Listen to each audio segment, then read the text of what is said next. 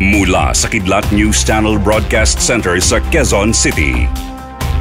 Narito na ang mga pinakamahalagang balita sa oras na ito. Kidlat News Updates. Buong Pilipinas ngayon ay nakaabang. Halina't samahan kami upang alamin ang mga balitang ating kailangan. Ako po si Cesar Soriano, kasama ang buong puwersa ng Kidlat News Channel para ihatid ang mga nangungunang balita sa buong kapuluan ngayon. Dumating na sa bansa ang dalawa sa pitong Shaldak Mk5 fast attack interdiction craft na binili ng Philippine Navy sa bansang Israel.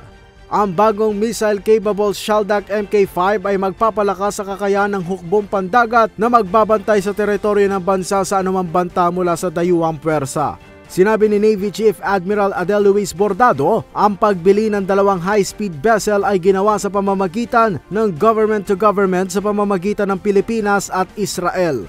Samantala, inihayag ng Armed Forces of the Philippines na 80% ng kompleto ang Horizon 1 at 10% naman ang Horizon 2 Modernization Program. Sinabi ni AFP Chief Lieutenant Bartolome Vicente Bacaro na sumailalim sa review ang modernization program ng AFP dahil sa budgetary constraints.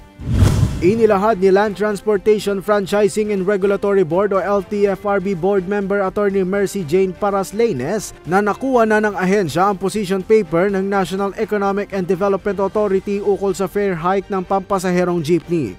Ayon kay Lanes, hinihintay pa nila ang pag-aaral tungkol sa dagdag pasahe maging sa bus, UV Express, taxi at ini-evaluate na sa ngayon kung aling petisyon ang maaaring maaprubahan. Dagdag pa niya, kinukonsidera rin nila ang overall inflation at magiging epekto nito sa mga pasahero. Hulyo ngayon taon nang huling magtaas ng 2 piso ang pasahe sa tradisyonal na jeepney.